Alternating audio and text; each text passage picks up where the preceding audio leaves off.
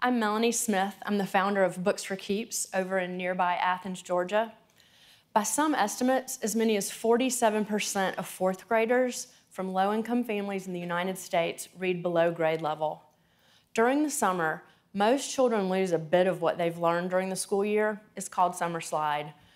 But because children from underserved communities often have a lot less access to books, both inside their home and outside their homes, their summer slide in reading can be much more pronounced, and it contributes to achievement gaps later on. Books for Keeps was founded in 2011 to combat summer slide using a research based model.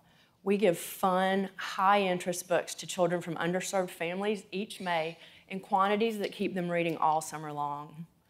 We've distributed more than 240,000 books so far. We're at 50,000 books a year. Our new commitment, in partnership with First Book and Atlanta Public Schools, among others, will expand our Stop Summer Slide program to serve 25 elementary schools in Georgia and distribute 315,000 books over the next three years.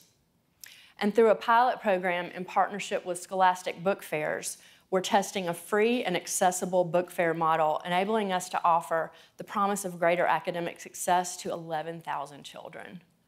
We'll also launch family engagement sessions to provide parents with more resources and opportunities to become more active participants in their children's literacy education.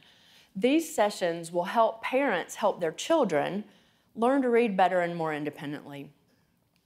Books for Keeps has grown from one person, me, giving one child some books to read for the summer to a fully operating nonprofit organization we level the playing field for children where access to books is concerned.